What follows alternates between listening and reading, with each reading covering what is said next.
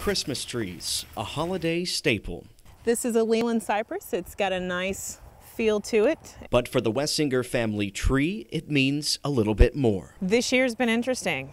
Um, since Dad died exactly a year ago, The family has had a love of Christmas trees since planting their first in 1976. And since his death, Charles Wessinger's two daughters have taken the family Christmas tree business by the roots.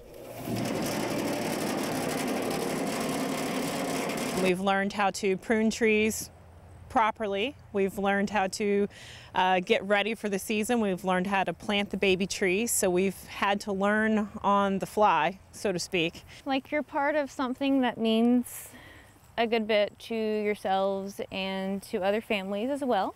That includes growing 25 varieties of holiday cactus on the side, as well as providing an assortment of poinsettias and handmade wreaths. The kid friendly environment allows others to start or continue a family tradition of their own. I think that he would be proud of us that we were able to do it on our own for a change.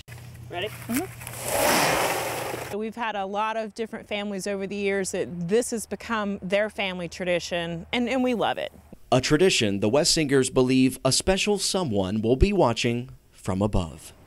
In Chapin, Garrett Bedenbaugh, WACH Fox News.